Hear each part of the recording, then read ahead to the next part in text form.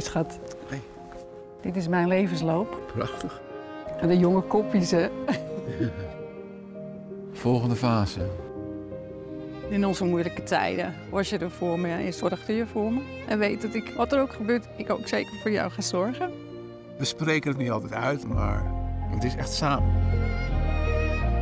Wat kun je voor elkaar doen als er later zorg nodig is? Begin op tijd het gesprek. Kijk op praatvandaagovermorgen.nl